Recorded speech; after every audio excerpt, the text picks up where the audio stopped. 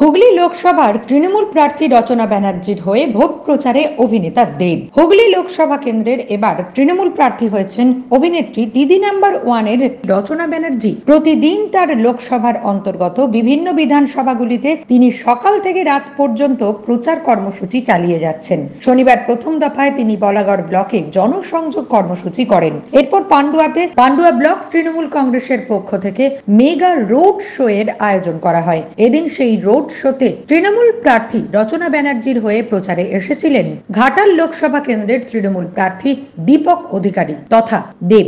এই road show পান্ডুয়ার call বাজার থেকে শুরু হয়ে জিটি রোড ধরে পান্ডুয়ার কাকলিতলায় গিয়ে শেষ হয়। একসাথে অভিনেতা এবং অভিনেত্রীকে দেখতে রাস্তার দুধারে মানুষের ভিড় জমেছিল। এই ভোট প্রচার নিয়ে তৃণমূল প্রার্থী রচনা ব্যানার্জি কি বললেন শুনে নেব। শুরু থেকে শুরু হয়েছিল, এখনও চলছে। অনেক বড় জার্নি দুজনের একসাথে। অনেকগুলো বছর কেটে গেছে। এখন আমরা একসাথে আছি এবং একে অপরের সাপোর্টে আছি, সেটাই সব থেকে ভালো। মজার মজার কথা হচ্ছিল যে, কিরম লাগছে, কিরম হচ্ছে, লোকজন কিরম হচ্ছে, কিরম অভিজ্ঞতা হতো দশ বছরের অভিজ্ঞতা। আমি তো একদম নতুন, তাই জিজ্ঞেস করছিল কেমন লাগছে, কিরম ফিল করছ মজার মজার কথা। না, সেরকম ভাবে কিছু টিপস দেয়নি, এবার ভালো তোমার জিততেই হবে তোমার জিততেই হবে, এটাই বারবার বলে গেল। দেখা যাক, সে তো সবসময় আছেই সবসময়। এখন বাকিটা ইচ্ছে দেখা যাক আপনারা বলবেন, আমরা তো ভীষণ খুশি এবং মানুষের এই ঢল প্রমাণ করে দেয় আরও একবার যে মানুষ তৃণমূল কংগ্রেসকে ভালোবাসে, আমাদেরকে ভালোবাসে, আমাদের উপর আস্থা আছে, আমাদের উপর বিশ্বাস আছে। সব জায়গায় আছে কম বেশি। আমাদের বিশ্বাস যে সব কিছু ঠিকঠাক হয়ে যাবে। ও টুকটাক এদিক ওদিক হতেই থাকে, সব জায়গায় হয়, এখানেও আছে। সে কিন্তু এমন কিছু নয় যেটা যেটা নিয়ে আমরা ম্যানেজ করতে পারব না, বা তাতে আমাদের নির্বাচনে কিছু এফেক্ট করবে, কিছু এফেক্ট করবে everything will be fine positive এবং ফিঙ্গার্স ক্রসড আমরা বিজয়ী। দেখো, মাথার উপরে বট গাছদের তো ছাওয়া দিতেই হবে না?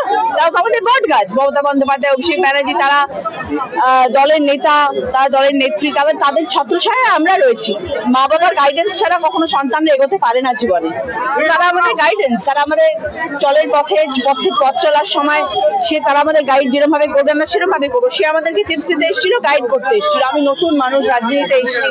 দলের পাশে যদি আমাদের বড় বড় মানুষরা না থাকেন তাহলে আমি দল নিয়ে এগোবো কি করে? সেই হিসেবে তো সে গাইড করবেই প্রচারে? দেখা যায় তারপর সবই দল থেকে ঠিক করে। দল যা বলবে তাই হবে। নিশ্চয়ই। সে বলল যে তোমাকে জয়ী হতে হবে। যা তোমার ঢল দেখছি যা মানুষের সাপোর্ট দেখছি এবং আমি সব খবর যা পাচ্ছি তাতে মনে হচ্ছে না যে তোমায় কেউ আটকাতে পারবে তুমি বিজয়ী। দেখা যাক। নিউজ আজ বাংলা হুগলি। আজ কলকাতা নয়। হাবিবস এখন আরামবাগেই। Habib's hair and beauty. এখানে ছেলে ও মেয়েদের hair cutting facial nail art এবং ট্যাটু সবকিছুই করা হয়। থাকছে বিশেষ আকর্ষণ। তাই বলি, স্টাইলস দিলসে। আজই আসুন হাবিবসে। আমাদের ঠিকানা গৌরহাটি মোড়, আরামবাগ। যোগাযোগ six two nine one five two five nine double zero অথবা seven four three nine double seven two seven eight five.